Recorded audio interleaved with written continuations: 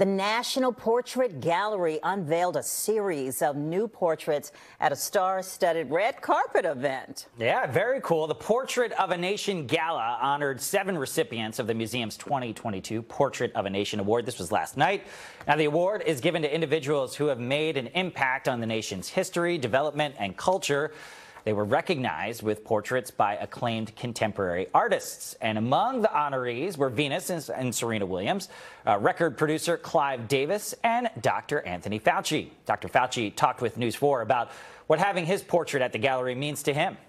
Well, it's it's daunting, it's it's exciting, but it's also very humbling. I mean, I never would have imagined in my wildest dreams that I would be in a place where there's so many heroes that I've admired for my entire life. And another hero for many, mm. uh, Chef Jose Andres. He was recognized for his humanitarian work, and News 4 spoke to him and the artist who created his portrait. In the fray, and he's also not alone in the fray. So he has a, a army of humanitarians who help him fulfill this vision to feed people. He kept asking me questions and I keep giving him the same answers. Then I'm one more guy showing up. I think we're an army of empathy that shows up Got to go see this for yourself. Mm. It looks so good. The exhibit is on view at the museum through next October. Very cool stuff there. Yeah, something to do.